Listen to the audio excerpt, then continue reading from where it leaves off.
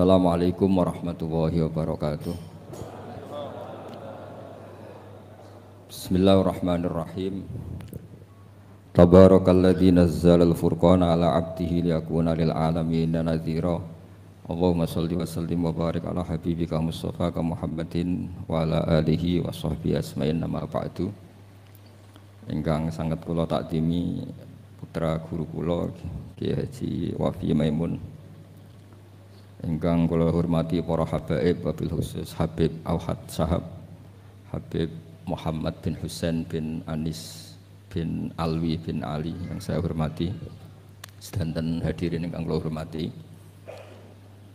Uh, empat hari yang lalu tapi lima hari yang lalu kula hormat acara pun Gus Kamil. Ini ku teman kulo sak kamar putra guru kulo Kulo mboten nyongko nak penyakit utawi asma yang diderita mulai kecil. Kulo bersaksi betul mulai kecil kulo sak kamar. Niku beliau sering libur gak sekolah karena asma. Kulo riyen niku iri kepengen loro, mergi kulo niku rasa seneng sekolah. Terus kulo niku rasa seneng sekolah, tapi seneng pinter. Niki Tohani seneng sekolah tapi rasa seneng pinter. Niki kanca kula sedanten. Niki Gus Wafi niku adik kula jauh. Mergi kula adik kelas kula niku Gus Kamil terus Gus Gofur, Gus Raub Gus. Gus Raub Gus Wafi. Terus Gus Wafi niku kacek limang kelas kalian kula. Terus kula sangat hormat beliau karena putra Mbah Mun juga sergap alim. Beliau ki hormat kula, kula luwih tuwek. Niki sing kula ulang alfiah riyen termasuk Toha ya, ya. Tapi cukup pak paham? Iya. Paham, mesti anggap paham. Eh, kulo niki pesennya Gus Wafi kalau kan suwi mungkin ngantos jam tiga ke, jam tiga di hari ini. Oke, setuju ya? Oke, mau nggak ngantos jam tiga mungkin. Jam ngantos jam tiga kulo nggih boten. Ngeten ya. Kulo akan baca, saya akan matur serius mungkin 40 menit. Karena ini bahasa Indonesia Gus karena banyak yang dosen-dosen dari UI juga ikut. Banyak yang ikut. Begini.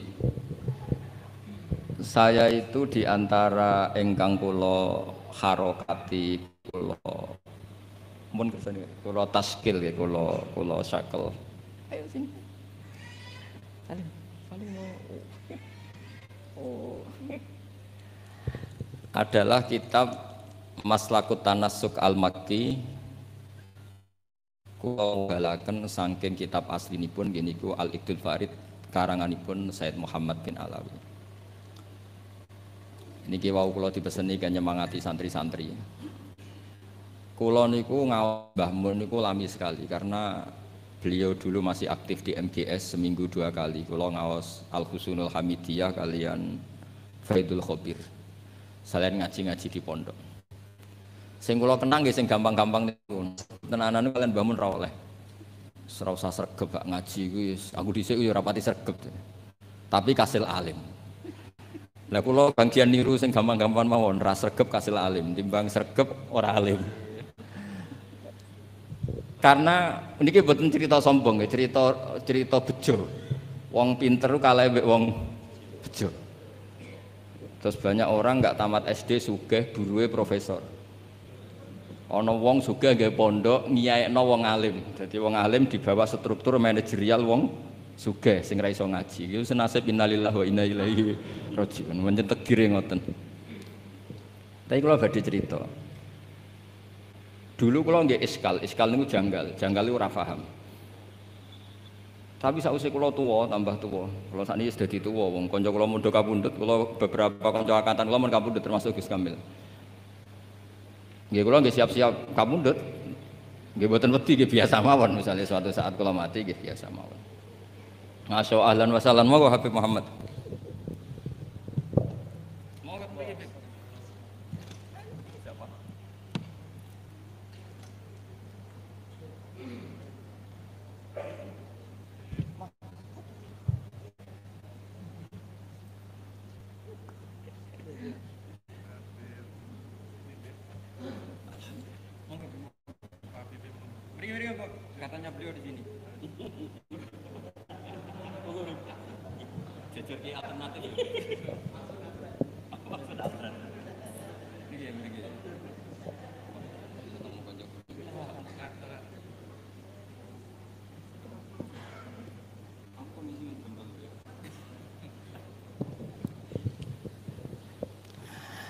Uh, kalau terusakan kalau tentu yang saya kenang dari Mbah Mun adalah sing asik, sing lucu, sing gampang lah.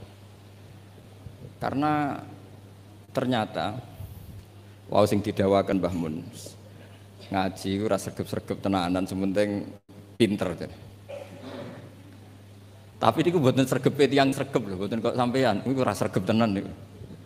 Karena tidak sergapnya Mbah Mun itu setiap maktubah masih baca kitab. Sama masih ingat betul habis subuh itu baca Ikhya. Habis duhur itu baca Ibnu Akil Mas Hasan ya. Ibnu Akil, terus habis asar Hikam. Hikam ya. Kamu ngaji itu? Ini konco-konco kulo teng sarang sedanten nih. Ngajine nate tapi buah khatam ora jelas. Habis sisa niku apa san? Wahab san. Sisa apa? Wahab. Wahab. Mahali. Rupanya gitu. Ribet, mesti ora jelas-jelas sendiri. Kalau masih ingat niki ngenang yai. Saya tadi janji serius 40 menit. Dipeksa Gus Wafi. Iya, sisinya guyon. Ngaji tenan Mbak Habib Muhammad. Pun sing kula sing santai-santai mawon. Niki roh dalan mlebu swarga. Sampeyan anut mawon, gak usah mikir ribet mikir nih. Dulu di antara keramatnya Syekhona Khalil itu kalau nalkin orang mati, Beb. Ngomong aja nih malaikat, ngenteni ketua rombongan, gak usah jawab. Terus ngoten terus mulai. Ketika ditanya ketua rombongan siapa? Aku jadi. Beliau kalau ditanya ketuanya siapa? Gurunya sampai Rasulullah. Pas Rasulullah itu mau karena ke serawani takok. Ini mau dijamin deh, aman deh soalnya betul saat dijawab. Ngentosi ketua nopo? Ini gue jazai Syekhona Khalil. Atau kau karena ke ngenteni ketua rombongan. Kalau tak cerita, kalau ngawas ikhya, tadi ikhya itu seperti umumnya ulama. Itu ada bab-bab tentang keriangan. Sebagian dibabkan di Al-Imbisat asik sama Allah, sebagian dibabkan kitabul iski wal mahabbah wal wujdi, ada yang baca wal wajdi keasikan bersama Allah ini ceritanya banyak sekali. Termasuk wonten cerita Nabi Musa niku donga iku mboten enten udan, donga mati-matian niku mboten mandi. Semun salat hajat mun istisqa mboten mandi. Niku Nabi Musa, pemenang saniki istisqa orderan tambah ra mandi. Istisqa saniki niku kiai ini di sawah, tidak istisqa rasa-rasa aku ra di sawah. sing semangat istisqa sing sawahe ombok. Lah kula kiai politik, wedi ra mandi mboten purun lho Gus. Wong ora mandi wae. Dadi tok ora gelem. Karena ketika gak mandi ku ora kok terus wong darani akeh maksiat. Kiai ini sing ngobos sih. Padahal versi langit ora mandi mergo akeh sing maksiat. Tapi sing dohir kan ono kiai ini. Daripada darani ra mandi kula termasuk kiai yang enggak pernah sholat istisqa. Karena takut tersangka mboten mandi. Dan itu bagus, mempertahankan harkat dan martabat itu bagus. Ini pun ijazah ke saya mas saya kulon. Buatan krono gengsi ini kan martabat. Karena kiai kiai itu tahu Allah karena gawe udan itu mergo akeh siap. Tapi akhirnya Nabi Musa minta buatan mandi. Buatan karena Nabi Musa kata Allah inna fihim namaman. Nak kepengen dongane mandi sing tukang adu-adu ditokno ke kelompok itu. Dari Nabi Musa, ya gampang kok Gusti. Namam itu siapa? Nanti saya usirnya. Jawabnya pangeran unik. Ya Musa, ini nah itu toh, ini anhan namimah. Wa aku numaman. Aku itu pangeran sing nyari atno wong ora oleh adu-adu. Lan aku nunjukno wong iku sapa berarti aku adu-adu. Jadi aku ini pangeran yang mengeramkan namimah adu-adu. Nah aku nunjukno sapa wong iku berarti aku adu-adu. Berarti buatan sakit orang raiso, nah itu raiso. Akhirnya solusinya apa? Solusinya wis ngene Niki cerita ikhya tadi Gus kan petuki kawulaku wonge ireng, bareh niku wonge ireng. Temuriku pokoke diterangno ireng, mestine ya elek ya wong ireng. Ireng ndak mboten ngerti kalau keriting napa mboten mboten ngerti pokoke ireng ndak. Walhasil Nabi Musa ketemu niku Dun Aswad niku. Dengan nurnya Allah, Nabi Musa pirsa kalau itu bareh, bareh dengan nurnya Allah juga pirsa kalau itu Musa kalimullah. Itu di antara di kitabul mahabbah wal iski itu dialeknya syariat itu kacau sekali. Kacaunya saya diminta Allah supaya kamu berdoa supaya ada hujan. Ini kudungan ini kacau nih. Ya Allah, apa hujan angin sudah tidak nurut sama jenengan sehingga tidak ada hujan? Apa engkau takut stok bising tidak nurunkan hujan? Oh, kacau semua, semuanya doanya itu kacau, kacau secara syariat. Tapi itu cara barah manja sama Allah. Faham Musa bibat sih di kitab-kitab Musa ingin jotos bar karena cara syariat salah. Tapi jawabnya Allah Ojo joto si Musa ojo taboi. Innahu yudhikuni fil yaumi salah samar. Ono sing innahu adhakani fil yaumi salah samar. Aku seneng mbek gaya dungane dekne aku seneng. Ora usah diterjemah bikin saya tertawa kenyamanan. Kalau hujan tidak turun karena mereka maksiat ya Allah maksiatuhum la tadruka maksiat mereka itu tidak bahaya bagi engkau engkau itu zat sing la tadruka maksiatuhum engkau zat sing wong kabeh maksiat itu mboten ngefek kok jenengan pertimbang nol apa ben wis jadi ikhya itu satu kitab yang nak ngebab no serius kalau nggih gumun Mbak Imam Ghazali cara kepanggih niku kalau ngaji Mbak Habib Muhammad bareng-bareng ngaji nih Imam Ghazali itu kalau bikin bab kita bu misalnya fawaidin nikah Wah, itu koyok-koyok nikah wajib karena dengan nikah ada turunan, ada generasi, ada penerus tauhid. Tapi bareng kita bu afatin nikah, koyok-koyok nikah itu haram. Padahal di karang satu orang. Gara-gara nikah katut buju, gara-gara buju akhirnya pola, gara-gara anak. Wah, semua di karang satu orang. Ketika cerita kita bu fawaidil uzlah, seakan-akan uzlah itu wajib. Uzlah itu kapan? Ketika di mana-mana ada dosa. Saya kira apa-apa dosa. Kalau nanti ketemu kanca kula Gus, nak ketemu ngayu, senengnya ketemu ngelek parah di. Lah terus kue suci. Ya iya lho Gus, nak ketemu ngayu kan sahabat padha, ketemu ngelek ke yo ngenyek ku yo dosa. kan sama kan ketemu wong ayu dosane sahabat, ketemu ngelek dosane ngenyek. Ribet kan? Ketemu wong sugih dosane tomak, ketemu wong melarat dosane nyepelek. No ribet kan? ketemu Habib Muhammad takdim pas-pasannya jaluk nih suwargo kan ya ribet Wong tadi pas-pasannya kok jaluk nih suwargo tadi tenanan sumpet begitu ini kadang kiai gitu ngoten Gus salam template satu sewu jaluk suwargo ribet kan setahun pisan bisa juga suwargo Biar kisah bisa loh, gak terima sini Habib Muhammad ya ora terima. Eh kan ribet. Ya tapi misalnya dia ini ragilem hormat Habib Kiai lu salah meneh kan. Dunia itu ribet. Sehingga penting uzlah. Tapi ketika Imam Ghazali ngarang kita Afatil uzlah. Gara-gara uzlah gak ono taklimu umat Rasulullah Muhammad sallallahu alaihi wasallam. Gak ono syiarul jamaah.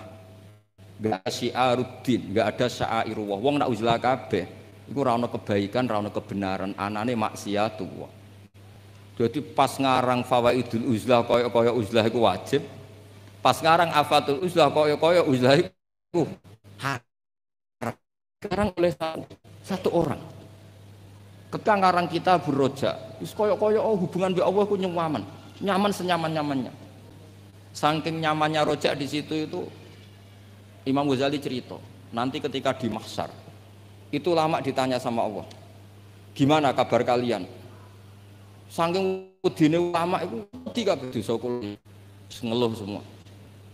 Tapi ada salah lama sing ngendikan gini, dia Gusti dosa kula kathah, tapi jelas buatan enten dosa sirik. Jenengan janji nak dosa liyane sirik jenengan sepuro, ini ketajiran sepuro. Ternyata Allah suka yang ini. Ya wis tak sepuro, tak sepuro. Itu di kita beroja. Tapi ketika ngarang Tabul Khauf, wes kabeh. Kamu jangan terjebak tertipu oleh tempat yang paling soleh, paling baik. Kurang apanya surga? Gara-gara kesalahan Nabi Adam tetap diusir dari surga.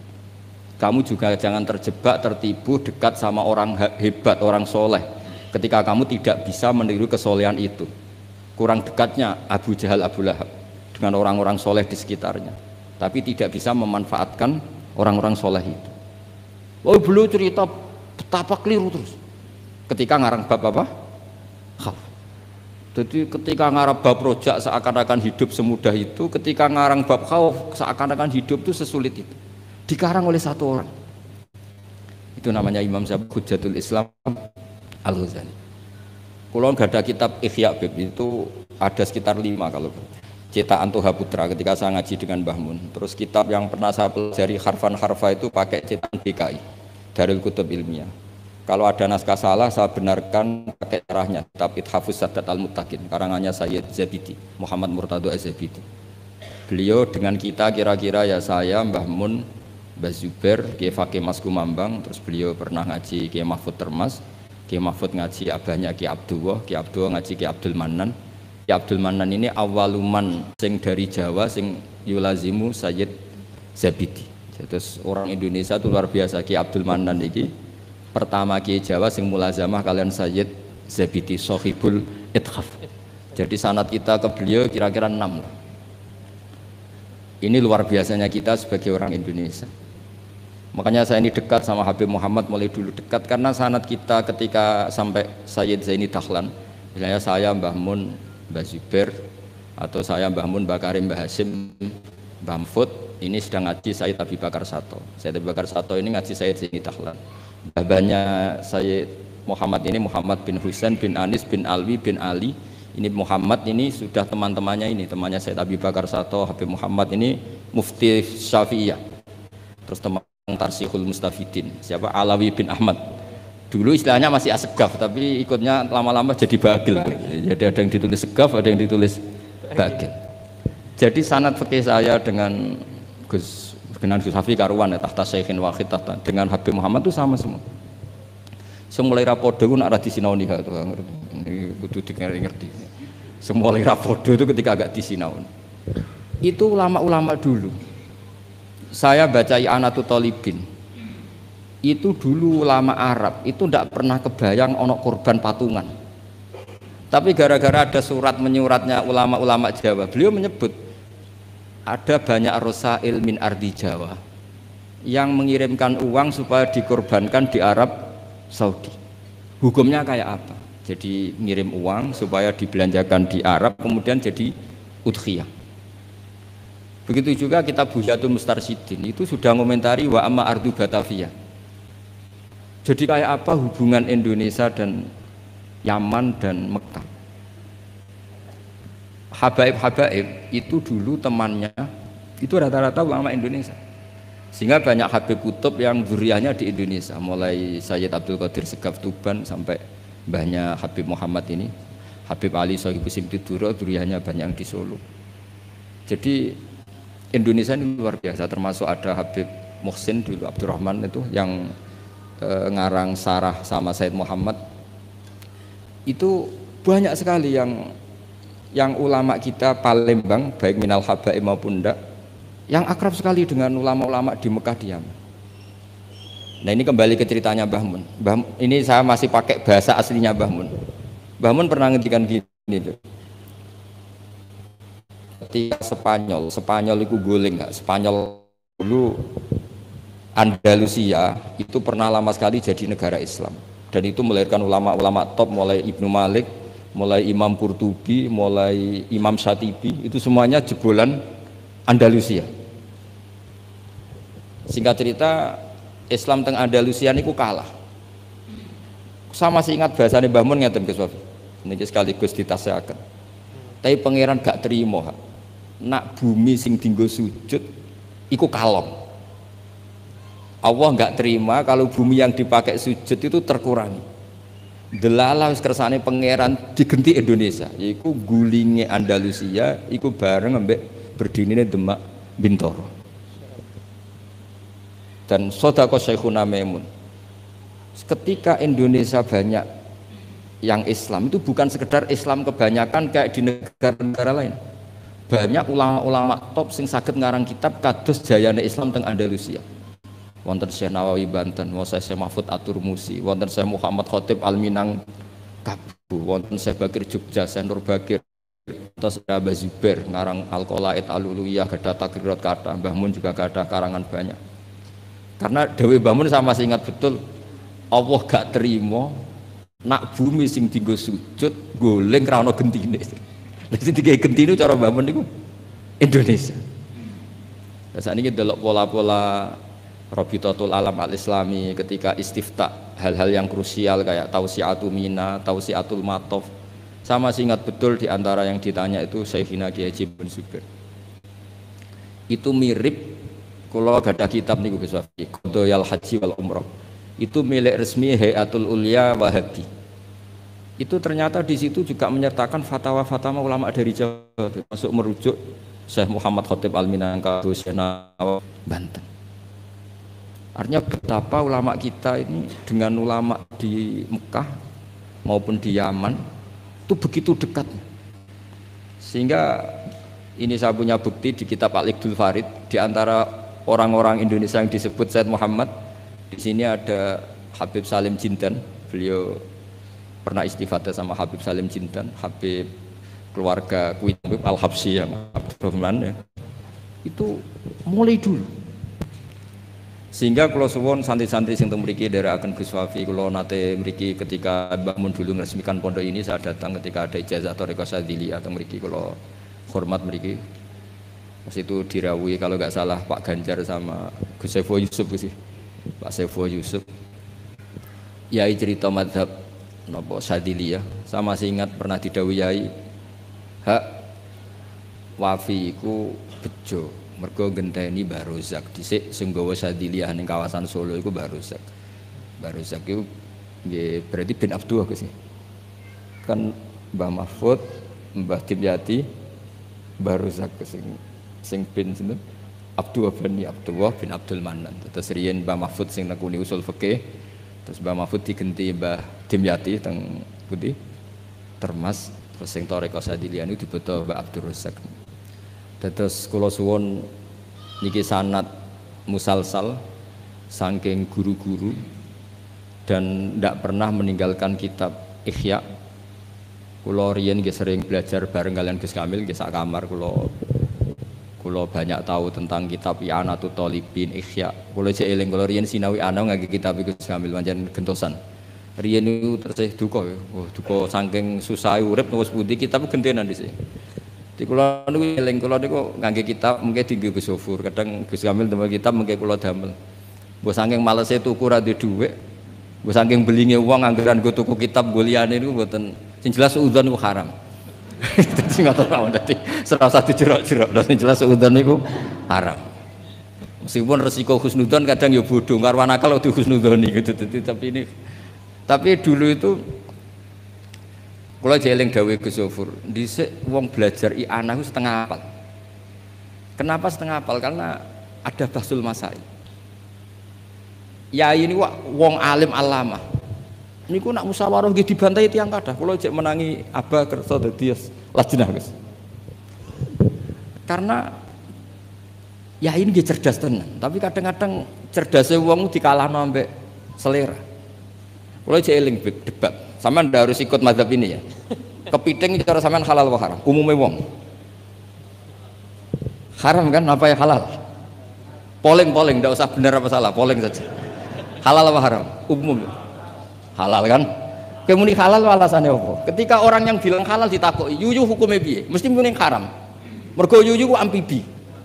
Tapi alasan yang sama kan ada di kepiting. Yuyu haram kan nggak masalah, cilik eh, tapi nak kepiting haram kan eman-eman. Padahal ketika ngaram noyo yo alasannya amfibi kan. Kalau alasannya amfibi berarti kepiting tetap menang kan? Karena eman. Nah singkat cerita gini Gus ketika debat saya masih ingat betul. Ya tentu yang bantah itu bukan anak sarang tapi delegasi dari yang lain. Tapi gambar di mulut itu niku ya kepiting kirang setunggal. Walhasil saroton itu mana nih apa? Jawab ya saya masih ingat sampai tak ingat ingat Arab. Lau suwirol kalbu bisalah sati arjulin akultum innahu huiru kalbin. Saya ini misalnya asu digambar sikile mau telu apa terus gak asu. Wong kurang sikil sitok kok ribet. saya itu masih menangi ya itu kerso dadi napa terus debat. Jadi memang watak dari ilmu itu memang ada apa ada naket, ada intikot. Tapi tentu tetap menjaga adab. Jadi dulu Mas Zubair ya kadang di era Mbah Mun itu beda. Dulu Mbah Zubair itu tak fanatik kalau ada buyutun mutalasikoh, ada rumah jejer-jejer, meskipun namanya Zakulun Bismin, meskipun namanya beda-beda, satu. Tapi era Mbah Mun, ya sudah kalau namanya Zakulun Bismin, ya sudah boleh banyak Makanya jenengan ampun kaget kalau suatu saat putra yai fatwanya secara fikih beda dengan abahnya itu biasa. Dulu Taqiyuddin Asubki sama Tajuddin Asubki itu kitab dikarang abahnya disarai anaknya. Kadang anaknya ngeritik abahnya. Tapi fil ilmi lah ya bukan. Jadi itu itu biasa. Jadi supaya sampai nanti familiar dengan uh, ikhtilafatil ulama itu familiar. Sayyid Ali Zainal Abidin bahmanya Habib Muhammad itu nggak derek-derek politik ngikuti madhabnya Pak Dinya Sayyid Hasan. Karena Sayyid Hasan itu menyerahkan semua wilayah kepada Muawiyah. Artinya ya biasa ikut ikut Pak Dinya tapi beberapa orang Hasani itu ingin negara ini harus dipimpin orang soleh sehingga Al Adarisa yang dibangga-banggakan Mbah Mun itu orang mimpin Maroko. Jadi Al Hasani banyak yang kerso politik sehingga jadi raja-raja di Maroko. Al Husaini sebagian nggak ngikuti politik derek no Said Hasan. Nah itu biasa maksudnya dalam apa ya sudah semuanya itu istihad semuanya itu baik asal dilakukan oleh orang-orang soleh radhiyallahu anhu. Di kulo kulo badhe tabarruk ngingat yai niki sekaligus kula ngenang betapa Mbah Mun kersane dituruti pangeran. Di antara yang ditulis Mbah Mun dalam Maslakut Tanasuk Al-Makki ditulis Yai beliau ketika nulis persis sanat yang ditulis Sayyid Muhammad Alawi beliau ngendikan ketika orang ini beliau ngendikan di antara harapan beliau adalah hadhihi ya tausiat allati kanat mafkhoratan azimah li asal asal maulal karim ayat ma'a nafsi ma'a hamalatil ilmi. Min ulama hadil ummah wa bil akhas ulama ahli bait alladzina khassahumullah bi khassa'isa la ya'lamu azamataha illallah taala. Jadi ketika beliau ngarang kitab ini ini beliau ngarang itu lama sekali sekitar tahun ini tak tulis. Yang yang mudawan saja saya agak mau resiko. Yang mudawan sesuai penanggalan yang ditulis beliau itu eh, ini tak lama sekali beliau mengarang kitab ini. Itu beliau di antara harapan besarnya semoga nanti saya dipertemukan dengan amalatil ilm wabil akhos ulama ahli apa dan ternyata betul beliau ditakdir wafat di Mekah dan bukan sekedar di Makla tapi makla yang dekat Abu Ya Said Muhammad sama di Dawi Said Ahmad. Coro ini makna nih nak sekedar nih makla itu tapi Mbah Mun itu di makla yang dekat Sayyidah Khotijah makla itu kan luas sekali kalau ya kan pas di sini Sayyidah Khotijah agak di bawah ada keluarga besar Said Muhammad ada Said Abbas Said Alawi dan seterusnya. Sebelakangnya agak bawah Syekh Nawawi terus samping agak agak selatan ke seperti ini pokoknya agak itu bang terus di antara keinginan beliau ketika ngarang kitab ini adalah saya ingin iltihak kata beliau tak baca lagi ya. Ayat nafsi ini asal maulal karim semoga Allah al karim ayat nafsi ma'a hamalatil ilm min ulama ihadil ummah wabil akhas. Beliau ingin sama ulama ahlil bait alladzina khassahumullah bi isa la ya'lamu azamata illallah subhanahu wa ta'ala. Terus ini keinginan beliau. Kitab ini ditulis lama sekali. Nah, kemudian kitab aslinya dari kitab Al-Iqdul Farid. Kitabnya Said Muhammad. Nah ini tadi sesuai pesanannya Gus Wafi, saya akan menceritakan cara ngarang orang dulu. Jadi ini yang kitab ini tak nomerin, ini nomor yang menjadi di kitabnya Mbah Mun. Kemudian kitab kitabnya Mbah Mun tak nomori ini nomor yang ada di kitabnya Said Muhammad. Itu beliau menukil tuh harfan bi harfin. Kalimatan bi kalimatin. Tidak ada yang dirubah sama sekali. Nah yang ini kemudian masalah bagi kita karena kalau tradisi kita itu mutabi mutabi itu ikut guru. Nah problemnya sekarang banyak orang beragama kemudian kalau niru guru atau orang sebelumnya dianggap plagiat. Akhirnya banyak pakar Islam sekarang yang memaksakan punya pendapat sementing beda. Memang aturannya kalau anut malah salah, dianggap plagiat. Sementara di pesantren ilmu itu harus anut al ilmu nurun tadi, ilmu itu harus nurun sebelumnya. Lah ini terus repot kita. Makanya kita-kita yang saya kan sering kumpul orang kampus, itu menjelaskan ke orang kampus itu bingung. Karena mereka inginnya di Islam itu ada pembaharuan. Sementara kita inginnya itu mutabi. Jadi ini ini PR Gus ya, PR bagi saya Habib Muhammad. Semuanya. Karena kalau kita membiarkan adat kampus dalam konteks agama ya, mereka boleh kreasi istihad Kayak apa bahayanya agama ini? Karena mereka itu siapa? Kan ini hukum wa rasulih, bukan bukan semau gue. Bisa orang yang ikuti apa? Hawa nafsu. Makanya ada seorang kiai di Rembang itu, itu unik.